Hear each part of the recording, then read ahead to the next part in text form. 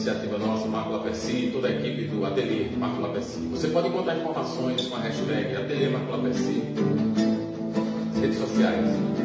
E hoje a gente está recebendo aqui a professora André Alves, ela que é educadora física, está fazendo um trabalho junto com o Espaço Andrés Rodrigues.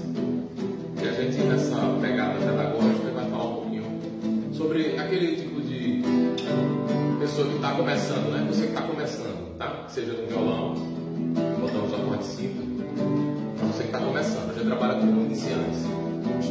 musicais, e eles iniciantes nas práticas físicas e, claro, a alimentação saudável que a gente precisa hoje, né? Então, beba água. Olá, Marcos, Andreísa, telespectadores da TV Jesus Luz. Eu sou Andreia Alves, profissional da educação física e trabalho com a modulação de exercício físico para a sua saúde. Então, esse é o meu principal objetivo, promover a saúde através do exercício físico. Como você bem colocou, Marcos, por onde começar o exercício físico? Geralmente, as pessoas têm dificuldade de começar uma prática regular de exercício físico porque elas têm uma ideia equivocada do que o exercício físico é para pessoas jovens, é para atletas, é para quem quer estética.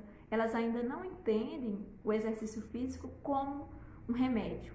E aí eu sempre gosto de explicar que a diferença do remédio para o veneno é a dose. E no exercício físico também não é diferente. Então, sempre que você for começar uma prática regular de exercício físico, comece pela uma atividade moderada, de baixo impacto, para que você possa evitar os riscos de lesão e até mesmo de morte, se for o caso de um exercício exagerado para aquela pessoa que não está acostumada. Porque o exercício é treinamento. À medida que você vai treinando, seu corpo vai ficando apto a realizar cada vez mais aquela atividade ou outras atividades possíveis.